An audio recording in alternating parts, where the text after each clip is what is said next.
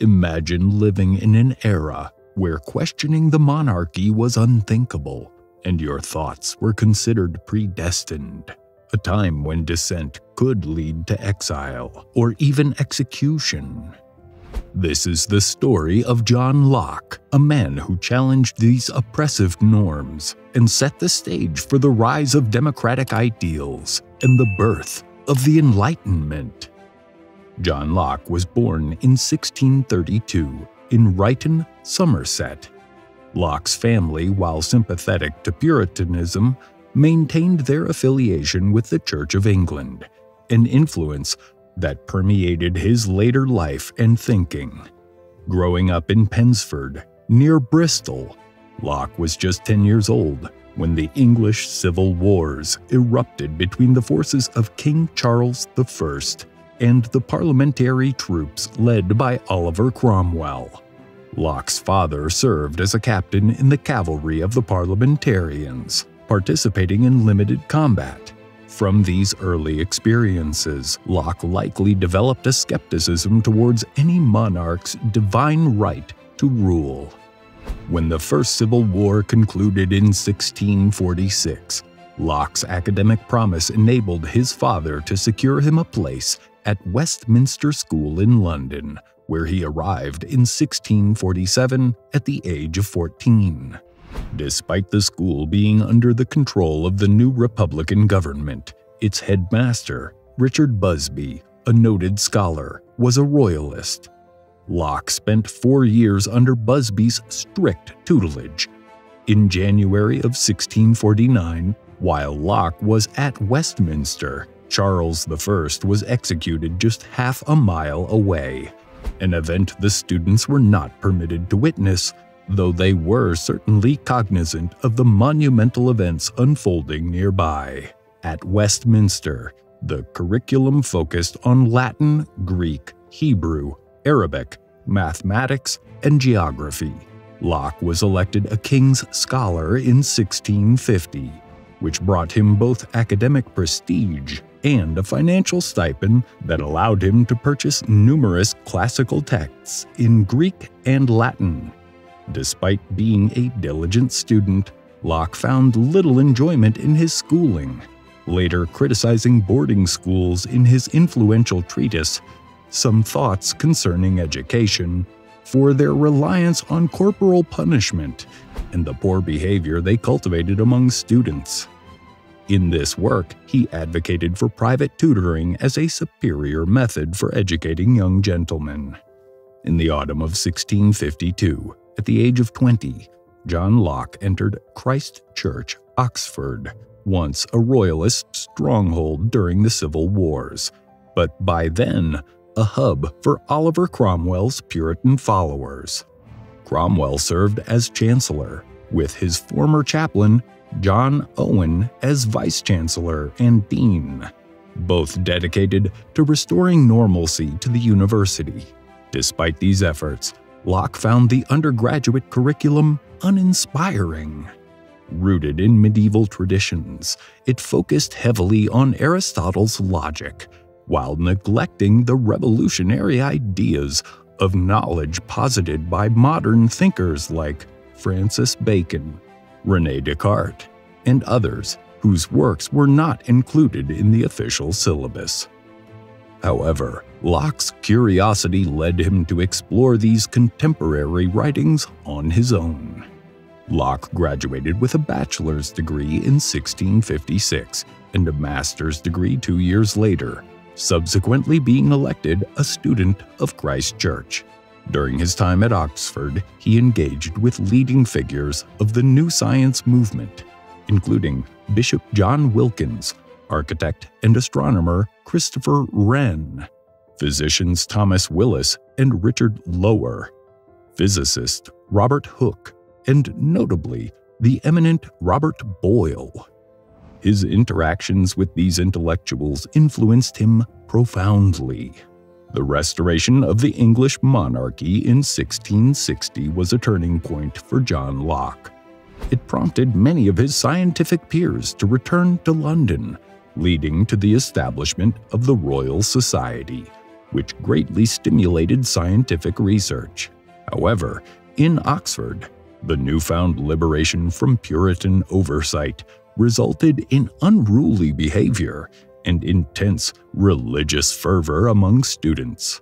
These excesses made Locke cautious about rapid social changes, likely influenced by his own experiences during the Civil Wars. In 1660, Locke penned two tracts on government, a conservative work advocating that the government could legislate on religious matters not crucial to Christianity's core beliefs to maintain political stability. This stance, aimed at curtailing the chaos from religious differences, contrasted sharply with the, his later views in Two Treatises of Government from 1689. Appointed senior censor at Christ Church in 1663, Locke oversaw undergraduate discipline and lectured, leading to his Essays on the Law of Nature.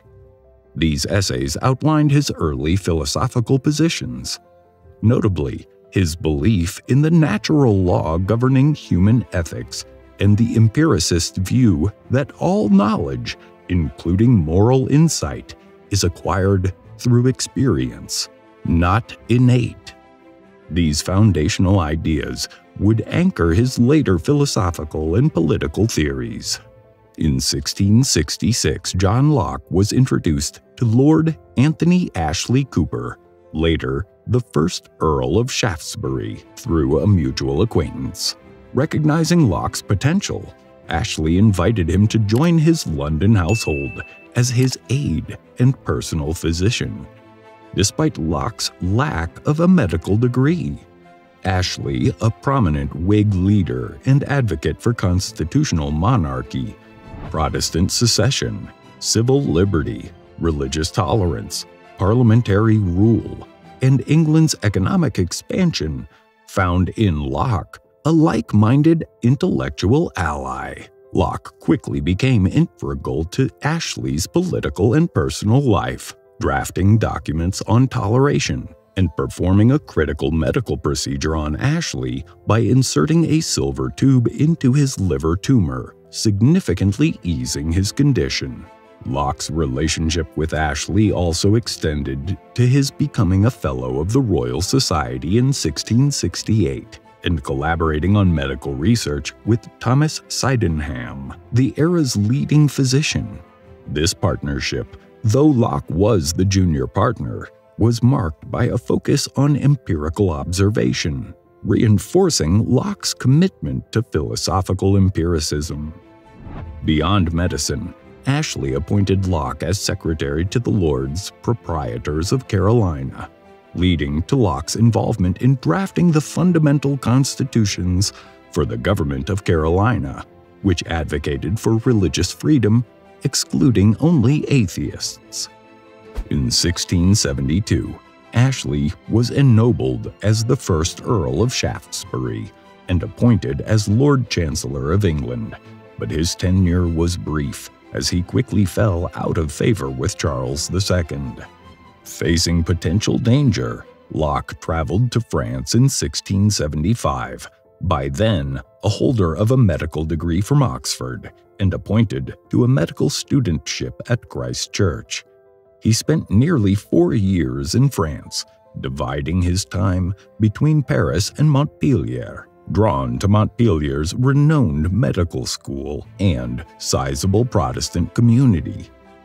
During his stay, Locke engaged with leading Protestant intellectuals and explored the works of French Catholic philosophers, but his focus predominantly lay on medical pursuits, deeply noting the stark poverty in France compared to England's relative prosperity.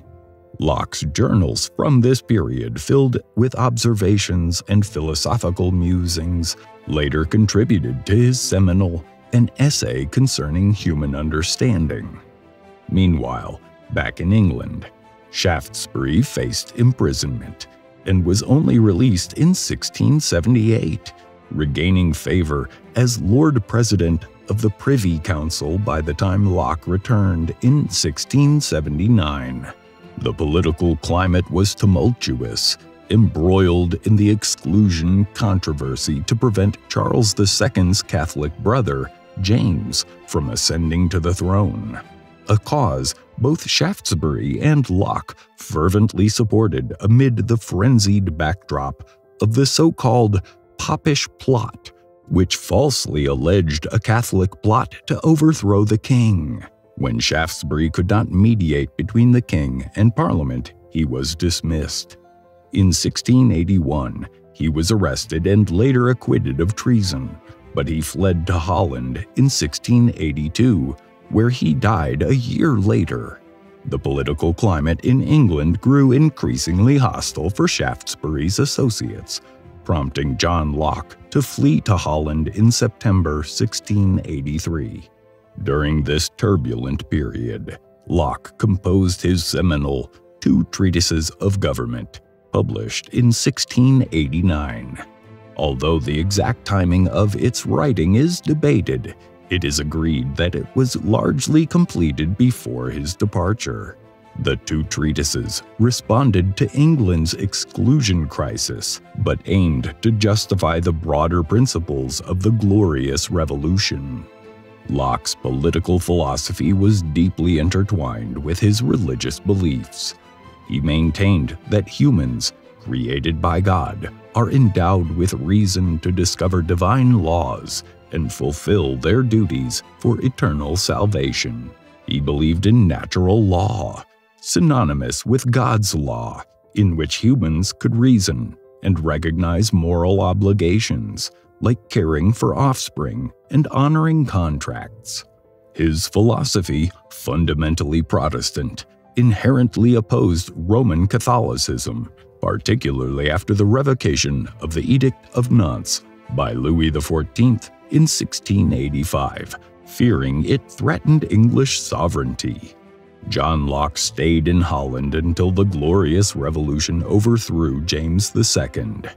In February of 1689, he returned to England with the party accompanying the soon to be Queen Mary II.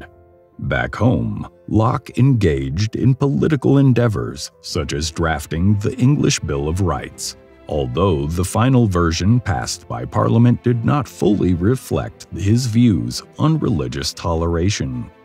Declining a senior diplomatic offer due to his poor health, Locke often struggled with London's smoky environment. He gladly accepted an invitation from his close friend and fellow philosopher Damaris Masham to reside with her family in Oates, Essex. In his final years, Locke revised his works, entertained friends like Isaac Newton, and engaged with critics. His health continued to decline, and he passed away while Damaris read him the Bible, later being buried in High Laver Church.